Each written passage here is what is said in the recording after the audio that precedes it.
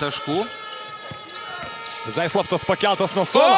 O, va čia tas momentas, apie kurį mes vaidai diskutavom. Malė jų reikia dažniau naudoti šiauliečiams. Taip.